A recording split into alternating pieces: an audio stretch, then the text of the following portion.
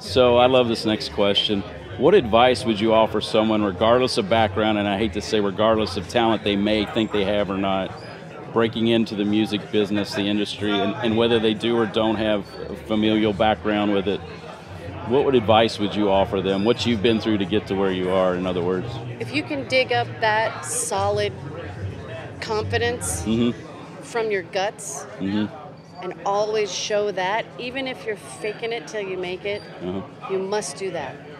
Because you cannot step out on a stage in front of an audience and show them for one split second that you are scared. Mm-hmm. Because they will eat you up. Like that, they'll like figure that. it. They'll They it. will go, oh, this, man. Yeah. It, it, the audience knows, it reads.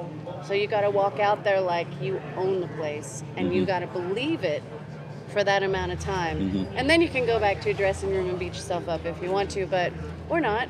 Okay. Um, but it gets easier. Mhm. It gets easier when you when you step out and you do that and you see how people react to that. Mm-hmm. I belong here. People start treating you like you belong there.